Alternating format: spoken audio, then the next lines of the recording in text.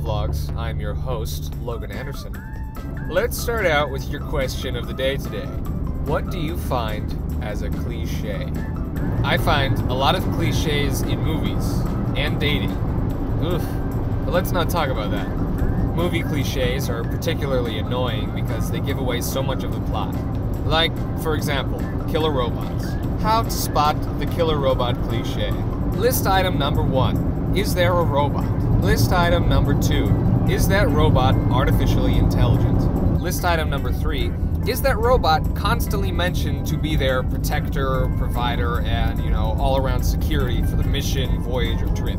If the characters constantly mention how perfect this robot is, how like nothing could ever go wrong with it, or like how important it is that it'll keep them alive somehow. Then I would say every single time they do that, it's foreshadowing that this robot's gonna turn on them and kill everyone.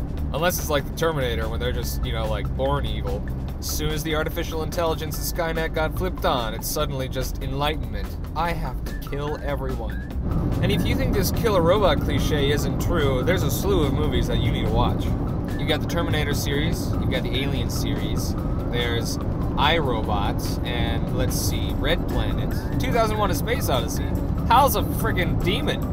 Enlightenment my ass. So, if you want to impress your friends by guessing what's going to happen next in the movie, just follow those three tips I gave you. But those aren't all the tips I have for you. If you want to watch the rest of my vlogs and you want to see what else is cliche today, then go ahead and just click the subscribe button down below. You can also see the vlog I did last week there. But other than that, guys, thank you so much for following along, and I hope you have a great rest of your day. Bye-bye now. Boop.